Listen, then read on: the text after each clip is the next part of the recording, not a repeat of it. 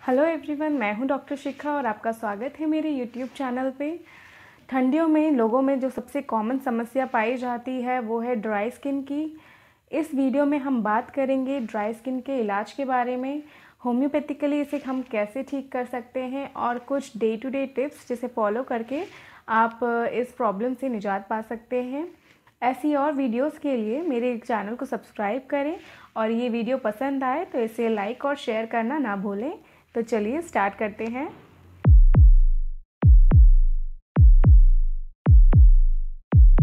ठंडियों में जो सर्द हवाएँ होती हैं, उनमें ह्यूमिडिटी की बहुत ज़्यादा कमी होती है और इसका सीधे सीधे असर जो है आपकी स्किन के ऊपर पड़ता है।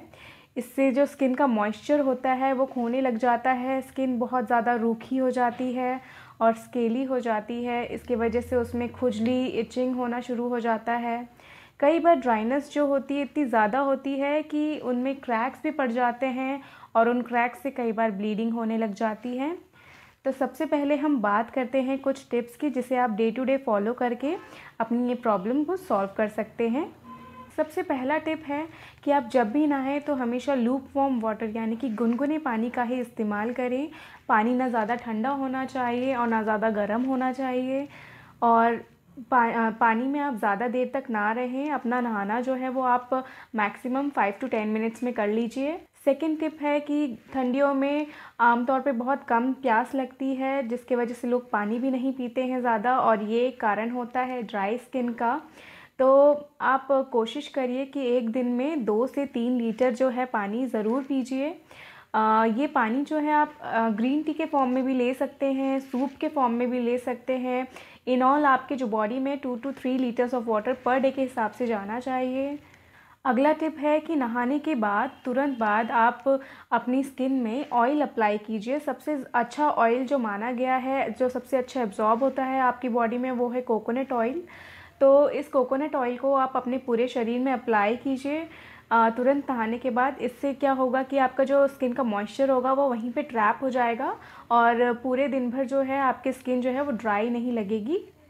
अगर आपकी एड़ियों में क्रैक्स हैं या फिर आपके जो फिंगर टिप्स हैं, उनमें क्रैक्स हैं तो फिर आप वहाँ पे रात को सोते टाइम अच्छे से उसको एरिया को वॉश करके हल्के गर्म पानी से उसमें आप पेट्रोलियम ऑइंटमेंट आता है, एक होम्योपैथिक ऑइंटमेंट वो लगा सकते हैं या फिर आपके घर में अगर वैसलीन है तो आप वो लगा लें और उसके बाद सॉक्स पहन के और या फिर आप अगर आपके हाँ फिंगर टिप्स पे क्रैक्स है तो आप ग्लव्स पहन के रात को सो जाएँ। ऐसे कुछ दिनों तक अगर आप फॉलो करेंगे तो आप देखेंगे कि आ, कुछ दिनों में काफ़ी अच्छा असर हो जाएगा आपके एड़ियों पे और हाथों के क्रैक्स पर और वो सॉफ्ट हो जाएँगी। अगला टिप है अगर आपके लिप्स जो हैं वो विंटर सीज़न में बहुत ज़्यादा ड्राई रहते हैं क्रैक्ड रहते हैं तो इस केस में आप रात को सोते टाइम ज़रा सा घी लगा लीजिए अपने लिप्स पे या फिर मलाई होती है, आप वो भी लगा सकते हैं।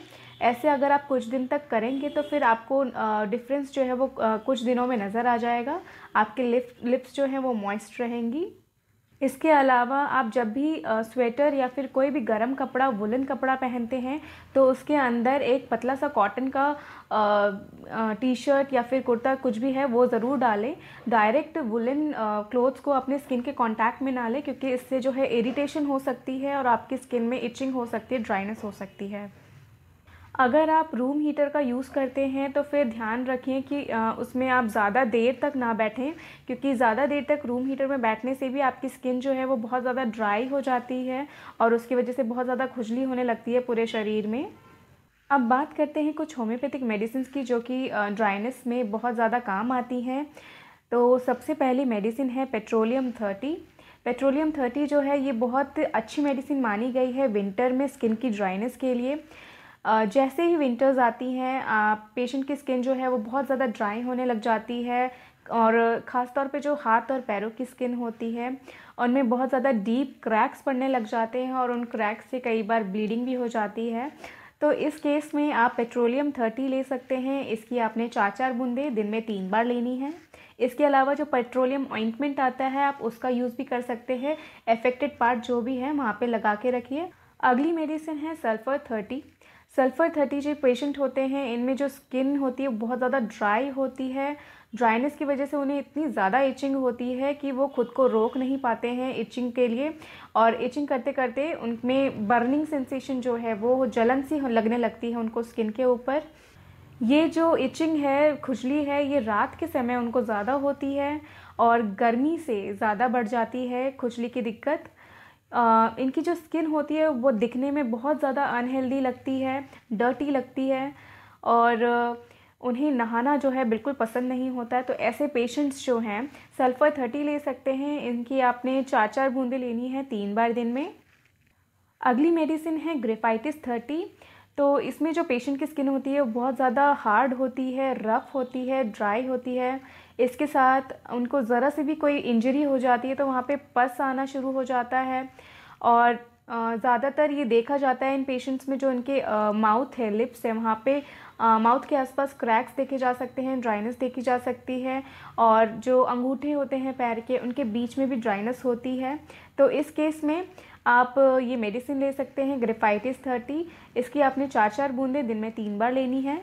अगली मेडिसिन है एलुमिना थर्टी एल्यूमिना थर्टी में अगर आपकी स्किन जो है वो बहुत ज़्यादा ड्राई है उसकी वजह से आपको बहुत ज़्यादा इचिंग होती है और इचिंग इतनी होती है कि आपसे कंट्रोल नहीं होता और आ, कई बार इचिंग करते करते वहाँ पे ब्लीडिंग हो जाती है और आपकी जो स्किन की कंडीशन होती है बहुत ज़्यादा पेनफुल हो जाती है। तो इस केस में एल्यूमिना थर्टी दे सकते हैं। इसके साथ साथ अगर आप बेड पे बहुत देर तक ब्लैंकेट के अंदर रहते हैं तो उसकी गर्मी की वजह से बहुत ज़्यादा इचिंग जो है वो बढ़ जाती है। और इसके साथ साथ जो आपकी हाथों की उंगलियाँ होती हैं, वहाँ पे जो स्किन होती है, बहुत ज़्यादा ठोस होती है, हार्ड होती है और साथ ही जो आपके नेल्स होते हैं, वो बहुत ज़्यादा ब्रिटल हो जाते हैं, इजीली टूट जाते हैं। तो इस केस में आप एलुमिना थर्टी दे सकते हैं। इसकी आपने चार चार बूंदें दिन में तीन बार लेनी है। तो विंटर्स में आप ये छोटी छोटी टिप्स जो हैं, वो फॉलो करके और ये होम्योपैथिक मेडिसिन लेके अपनी इस समस्या को सॉल्व कर सकते हैं। इस वीडियो में इतना ही। मिलती हूँ आपसे अगली वीडियो में और इन्फॉर्मेटिव कंटेंट के साथ। Till then good bye stay healthy stay aware